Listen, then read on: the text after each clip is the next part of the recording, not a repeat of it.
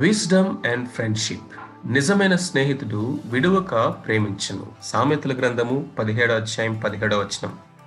Friendship అనేది ప్రతి ఒక్కరి యొక్క జీవితంలో ఒక ప్రత్యేకమైనటువంటి సంబంధం. ప్రతి ఒక్కరు కూడా స్నేహం చేస్తాం. వయసుతో సంబంధం లేకుండా ప్రతి ఒక్కరూ కూడా స్నేహితుల్ని కలిగి ఉంటాం. స్నేహం అనేది పీర్ టు పీర్ రిలేషన్షిప్ అంటే మధ్య తారతమ్యాలు వ్యత్యాసాలు ఏమి ఉండవు.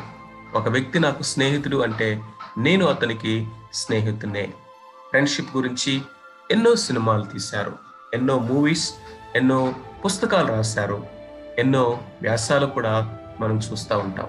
ఫ్రెండ్షిప్ని చాలా ఉన్నతమైనటువంటి రిలేషన్షిప్గా పోర్ట్రైట్ చేయటం అనేది మనకు తెలుసు. ఫ్రెండ్షిప్ గురించి చాలామంది చాలా విధాలుగా వర్ణించారు.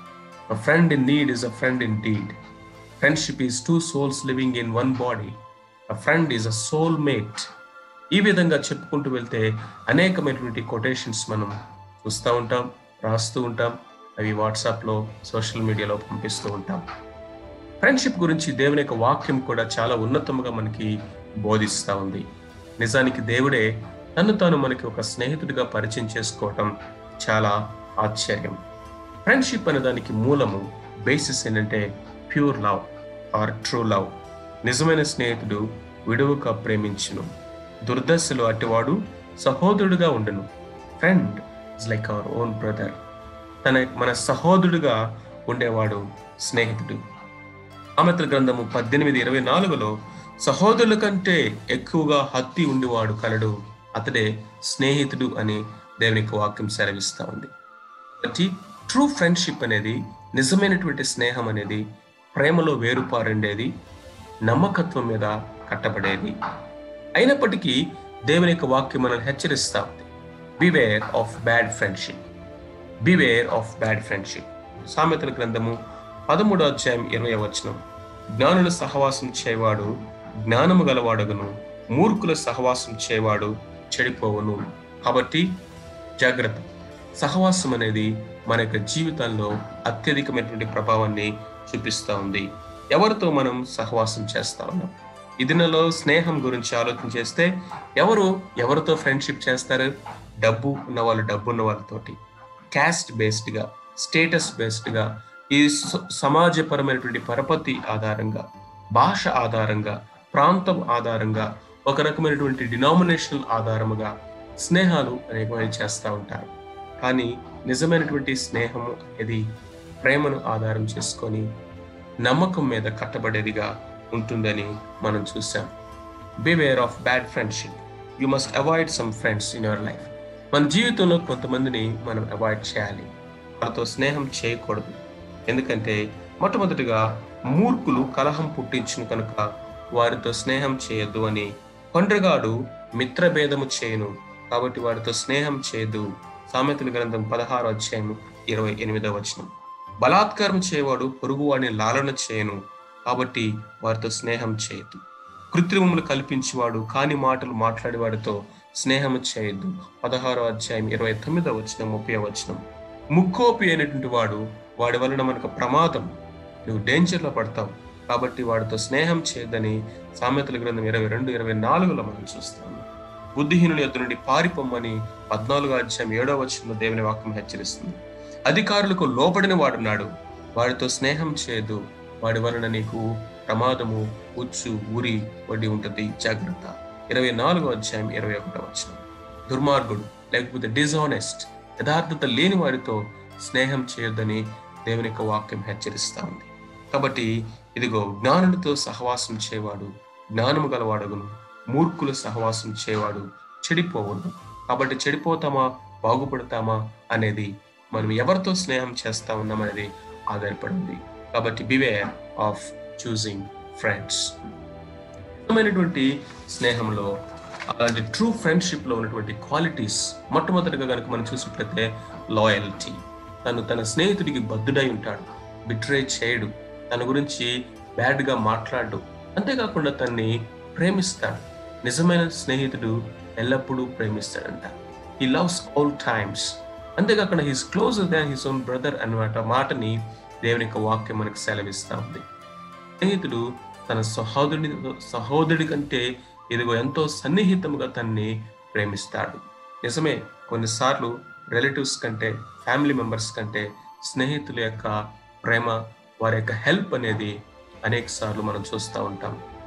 కాబట్టి ఫ్రెండ్షిప్ అనేది ఈవెన్ జనరేషన్స్ వరకు కూడా వెళ్తుంది కొన్ని కొన్నిసార్లు.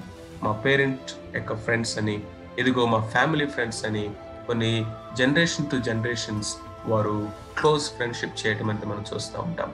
దట్స్ రియలీ బ్లెస్సింగ్ రెండవదిగా కనుక మనం చూసినట్లయితే కాన్ఫిడెన్స్ కాన్ఫిడెన్స్ నమ్మకత్వం. Don't betray the trust of your friend నీ స్నేహితుల మీద నీకున్నటువంటి నమ్మకాన్ని ఎప్పుడు కూడా నువ్వు దాన్ని పోగొట్టుకోవద్దు. సామెతల గ్రంథం ఇరవై ఐదో అధ్యాయము తొమ్మిది నుంచి పది వరకు పొరుగువాని మీద వ్యాజ్యమాడవచ్చును కానీ పొరుగువాని గుట్టు బయట పెట్టొద్దు. అది అతనికి కీర్తి తీసుకుని వచ్చును పొరుగువాని యొక్క గుట్టు మన స్నేహితుడు మన యొక్క నైబర్ గురించి రాయబడుతుంది సో వారు మనతో అన్ని పంచుకుంటారు. మనల్ని నమ్మి వారి యొక్క హృదయాలు మనతో పంచుకుంటారు. వాళ్ళ సీక్రెట్స్ పంచుకుంటారు. వాళ్ళ యొక్క వీక్నెసెస్ పంచుకుంటారు. అంత బాగున్నంత వరకు బాగా ఉండి తర్వాత వాళ్ళని ఏదన్నా చిన్న తేడా వస్తే వెంటనే వారి యొక్క గుట్టును బయట పెట్టేవారుగా ఉండకూడదు. సామెతల గ్రంథము పదకొండు పదమూడు. కొండెగాడై తిరుగువాడు పరుల గుట్టు బయట పెట్టును గాసిప్ చేసేవాడు పరుల యొక్క గుట్టును బయట పెట్టేవారు. కొంతమందికి ఏమీ పని ఉండదు. మనం పరుగు వారి గురించి వారి గురించి వీరి గురించి మనకి తెలియనటువంటి విషయాలను కూడా ఎక్కడో విన్నటువంటి సమాచారాన్ని కూడా వాళ్ళు బ్రాడ్కాస్ట్ చేస్తూ ఉంటారు. They are like broadcast channels which causes damage కాబట్టి వదరబోతు జోలికి పోవద్దు వదరపోతు అంటే విస్తారంగా మాట్లాడేవాడు. వదరబోతు దగ్గరికి వెళ్ళొద్దు. సామెతల గ్రంథం ఇరవై అధ్యాయం పంతొమ్మిదవ వచ్చిన మూర్ఖులు కలహమును పుట్టించును పండుగాడు మిత్రభేదమును చేయను. పదహారో అధ్యాయం ఇరవై ఎనిమిదవ వచ్చిన నిజమే మిత్రభేదమును కలిగించేటువంటి వారుగా ఉండకూడదు. స్నేహితుల మధ్య ఇదిగో భేదాభిప్రాయాలు డివిజన్స్ని కలిగించేవారుగా అనేక మంది ఉంటారు. కాబట్టి గాసిప్పింగ్ అనేది మన యొక్క స్నేహాన్ని ఇదిగో బిట్రే చేస్తుంది. కాబట్టి మనము మన స్నేహితుల గురించి ఎక్కడా కూడా బ్యాడ్గా మాట్లాడటం అనేది వారి యొక్క నమ్మకాన్ని మనము అమ్ము అమ్మివేసేవారిగా ఉండవద్దు. దీంట్లో ఒక బేసిక్ ప్రిన్సిపల్ ఏంటంటే మనము ఫస్ట్ హ్యాండ్ ఇన్ఫర్మేషన్ మన దగ్గర ఉంటే తప్ప మనం ఎవరో చెప్పినటువంటి సమాచారాన్ని మనం వెంటనే అందరికీ చెప్పేటువంటి వారిగా అది వాస్తవమైనా సరే కొన్ని కొన్నిసార్లు we should not talk in public మన యొక్క మాటల్ని మనం జాగ్రత్తగా కంట్రోల్ చేసుకోవాలి. సెల్ఫ్ కంట్రోల్ అనేది మాటల్లో చాలా చాలా ప్రాముఖ్యమైనది. సామెతల గ్రంథము పదకొండు అధ్యాయం తొమ్మిదో వచ్చిన భక్తిహీనుడు తన నోటి మాటల చేత తన పొరుగువానికి నాశనము తెచ్చును. భక్తిహీనుడు తన నోటి మాటల చేత తన యొక్క సహోదరునికి తన యొక్క స్నేహితునికి పొరుగువాడికి నాశనము తెచ్చేవాడుగా నాశనం తెచ్చేవారిగా మనం ఉంటున్నామా? వారికి మేలు చేసేవారుగా ఉంటున్నామా? సామెతల గ్రంథము పద్దెనిమిది అధ్యాయం తొమ్మిదో వచ్చిన భక్తిహీనుడు వాని పెదవులు వానికి ప్రాణమునకు ఉరి తెచ్చును. భక్తిహీనుడి యొక్క పెదవులు వాడి ప్రాణానికి ఉరి తెచ్చును. నిజమే పొరుగువానికి తన సహోదరునికి నాశనం తెచ్చేవాడుగా ఉన్నాడు. తన మీదకి తను ఉరి తెచ్చుకునేవాడుగా ఉంటున్నాడు. కాబట్టి ఇదిగో కొన్ని కొన్నిసార్లు నోటి మాటల చేత మన సంబంధ బాంధవ్యాల్ని మనం పాడు చేసుకుంటూ ఉంటాం. ఒకటి మాటల చేత ఇది ఇతరుల్ని గాయపరిచేవారుగా ఇబ్బంది పెట్టేవారుగా మనం ఉంటూ ఉంటాము. తన పొరుగు వారిని మోసపుచ్చి నేను నవ్వులాటకు చేసేదని పలుకువాడు కరడు just for joking just for fun don't take it serious take it easy light తీసుకో అని చెప్తూ ఇదిగో ఎదురు వాళ్ళని గాయపరిచే మాటలు మాట్లాడే వాళ్ళు కలరు. కాబట్టి be careful be careful about your words నాలుగవది హానెస్టీ స్నేహంలో హానెస్టీ అనేది చాలా ప్రాముఖ్యమైనది యథార్థంగా ఉండడం సామెతల గ్రంథం ఇరవై ఏడవ అధ్యాయం ఆరో వచ్చిన మేలు కోరి స్నేహితుడు గాయము చేయను మగవాడు లెక్కలేనని ముద్దులు పెట్టెను. మేలు కోరి స్నేహితులు మేలు కోరి హెచ్చరిస్తారు గర్దిస్తారు వాస్తవం మాట్లాడతారు. కొన్ని కొన్నిసార్లు my friend I think this is not right for you ఇదిగో ఈ ఏరియాలో నువ్వు కరెక్ట్ చేసుకోలేమో. ఈ ఏరియాలో ఇంకా నువ్వు గ్రో అవ్వాలేమో అని వాస్తవము చెప్పటము కొన్ని కొన్నిసార్లు హెచ్చరించడం అనేది అది మేలు కోరి మేలు కోరి మగవాడు అనేకమైన బుద్ధులు పెడతాడంట. సో కాబట్టి ఇదిగో ఈ లోకంలో పొగిడే వాళ్ళు వంద మంది ఉంటారు. పొగిడే వాళ్ళు మనల్ని వారి వల్ల ఉపయోగం లేదు. మన జీవితం గద్దించి వారి వల్ల మనకి ఆశీర్వాదం అది తైలాభిషేకం. కాబట్టి ఇదిగో పొగడ్తలలో పడిపోకూడదు. నిజమైన స్నేహితులు ఎవరంటే మన మేలు కోరి మనల్ని కరెక్ట్ చేసేవారు. మన అభివృద్ధి కోసం ప్రయాసపడేవారు. మనల్ని లిఫ్ట్ చేయడానికి ఇదిగో తను శ్రాయశక్తుల ప్రయత్నం చేసేవాడు.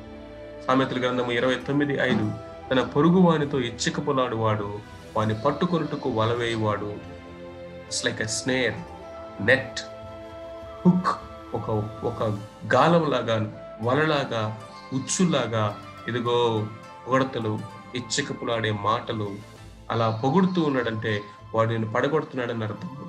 నీ కాళ్ళ కింద నూనె డబ్బాలు దొరిలేస్తున్నాడని అర్థం. నీ కాళ్ళ కింద గోతులు దవ్వుతున్నాడని అర్థం. నీ కాళ్ళ కింద ఉచ్చులు ఒడ్డుతున్నాడు అని అర్థం. కాబట్టి రెబ్యూక్ అనేది చాలా అవసరం. కరెక్షన్ అనేది అవసరం. సామెతల కింద ఇరవై ఎనిమిదో అధ్యాయం ఇరవై మూడో వచనము. నాలుకతో ఇచ్చికపులాడు మాట్లాడు వాని కంటే నరులను గద్దించేవాడు తుదుకు ఎక్కువ దయను పొందును. ఆనర్ ఉంది రెస్పెక్ట్ ఉంది దయ ఉంది మళ్ళీ ఇతరుని హెచ్చరించినప్పుడు దాంట్లో గొప్ప మేలు వారికి చేసిన వారము యథార్థముగా ప్రేమ కలిగి సత్యము మాట్లాడటము. తర్వాత encouraging one counselling and encouragement అనేది ఫ్రెండ్షిప్లో అతి ప్రాముఖ్యమైనది. ఇదిగో ఇనుము చేత ఇనుము పదును చేయబడును. అట్లు ఒకడు తన చెలికానికి వివేకము పుట్టించును. మనం ఇతరులకి వివేకాన్ని పుట్టించేవారిగా add values to their life add value వారిని అప్లిఫ్ట్ చేసేవారిగా మనము ఎంకరేజ్ చేసేవారిగా కౌన్సిల్ చేసేవారిగా ఇదిగో ట్రూ ఫ్రెండ్ ఉంటాడని దేవుని యొక్క వాక్యం సెలవిస్తా ఉంది. సామెతల గ్రంథం ఇరవై ఏడో అధ్యాయం తొమ్మిదో వచనం. తైలము అత్తరు హృదయమును సంతోషపరిచినట్లు చలికా చలికాని నోటి నుండి వచ్చు మధురమైన మాటలు హృదయాన్ని సంతోషపరచును. రిఫ్రెషింగ్ రిఫ్రెషింగ్ ఇదిగో ఫ్రెండ్ అనేవాడు ఇతరులను రిఫ్రెష్ చేస్తాడు. బర్నబాస్ ఈ refresh the hearts of the people చూసారా? ఇదిగో తీతుకు వచ్చినప్పుడు ఆ యొక్క పౌలు యొక్క హృదయం రిఫ్రెష్ అయిందని he refresh our hearts refresh our hearts మధురమైన మాటలు. ఆ యొక్క ఎంకరేజ్ చేసేటువంటి మాటలు. ఇదిగో చూసారా? We need to encourage one another we need to counsel one another that is true friendship ఇదిగో and then be sensitive to each other's feelings. Be sensitive. Be sensitive. Too much of anything is not good. సామెత గ్రంథం ఇరవై ఐదో అధ్యాయం పదిహేడు వచ్చిన మాటి మాటికి నీ పొరుగు వాని ఇంటికి వెళ్ళకము. అతడు నీ వలన విసిగి నిన్ను నిన్ను ద్వేషించినేమో. మాటి మాటికి ఇదిగో వెళ్ళడము. మాటి మాటికి వారి యొక్క అఫైర్స్లో తలదోర్చడము తలదోర్చటము. మాటి మాటికి నిజమే. Too much of a inclination మంచిది కాదు మన యొక్క లిమిట్స్లో మనం ఉండటం మంచిది. ఫ్రెండ్షిప్ అనేది టేక్ ఇట్ ఫర్ గ్రాంటెడ్గా తీసుకుపోవడం ఏది పడితే అది మాట్లాడటము ఏ విషయాల్లో పడితే ఆ విషయంలో తలదూర్చడము రెస్పెక్ట్ లేకుండా ప్రవర్తించటము. ఇదిగో చాలాసార్లు ఆ లీనియన్స్ గౌరవప్రదంగా ప్రా ప్రారంభించబడుతుంది. ఆ తర్వాత స్లోగా స్లోగా స్లోగా ఇక too much of closeness too much of things వాళ్ళ యొక్క ప్రైవసీలోకి ఎంటర్ అవ్వటం వాళ్ళ యొక్క ఇండివిజువాలిటీని హర్ట్ చేయటం వాళ్ళ యొక్క ఫీలింగ్స్ని మనము డిస్టర్బ్ చేయటము ఇవన్నీ కూడా ఫ్రెండ్షిప్ అనే పేరుతో మనం చేయకూడదు. వారి తర్వాత నేను ద్వేషిస్తాడు. అనేకమైన ఫ్రెండ్స్ వాళ్ళ యొక్క ఫ్రెండ్షిప్ ఈ విధంగానే వాళ్ళు నాశనం చేస్తారు. So we must respect the feelings finally a wonderful example be like David and Jonathan. A covenantal love, sacrificial love, unconditional love, unchanging love. true symbol of friendship in the Bible. నీ జీవితంలో ఎలాంటి స్నేహితులు కలిగి ఉన్నావు? నువ్వు ఇతరులకి ఎలాంటి స్నేహితుడిగా ఉంటూ ఉన్నావు? పరీక్ష చేసుకుందాం. దేవునితో మనం స్నేహం చేస్తున్నామా? అబ్రహాము నా స్నేహితుడిని దేవుడు చెప్పాడు. నీ గురించి నా గురించి దేవుడు ఆ మాట చెప్పాడు నీ జీవితంలో విలువైనటువంటి స్నేహితులు దేవునికి నువ్వు ఇచ్చి ఉండొచ్చు. వాళ్ళు don't take it for light